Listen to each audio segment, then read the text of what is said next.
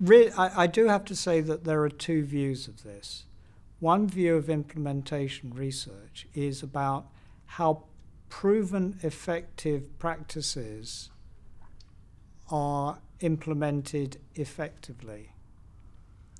So that takes an evidence based treatment or practice and it looks at effective ways to implement that. Um, another area of implementation research is to study how people take up an idea or an evidence based practice or a new innovation and how they adapt it and reinvent it in order to fit their organizational patient group.